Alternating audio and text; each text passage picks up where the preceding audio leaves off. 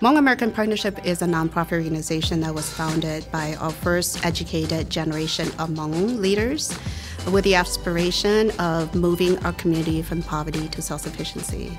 All of our social enterprises and programs at HAP are very interconnected to address the diverse and various needs that uh, community members have today. A big reminder that I often challenge our staff in thinking around innovation is you are the best ambassador you are the best champion. You are the best, you know, person that can talk about this because you are from the community and you draw on your experience and you draw on your history and your culture.